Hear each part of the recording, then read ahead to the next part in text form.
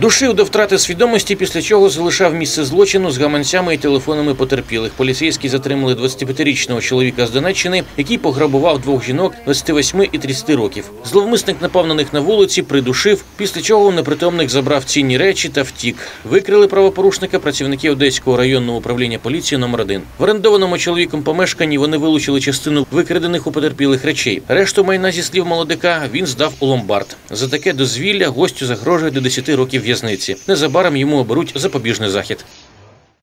Зловмисник, нападаючи на потерпілих, душив до втрати свідомості, після чого відбирав цінні речі та гроші. Зараз правопорушника затримано в порядку статті 208 Кримінального процесуального кодексу. Його дії кваліфікують за статтею 187 Кримінального кодексу України. Вирішується питання про обрання запобіжного заходу у вигляді тримання під вартою.